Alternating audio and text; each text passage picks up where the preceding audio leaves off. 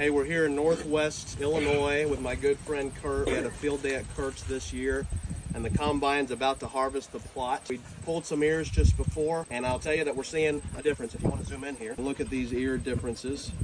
Pull it up like this.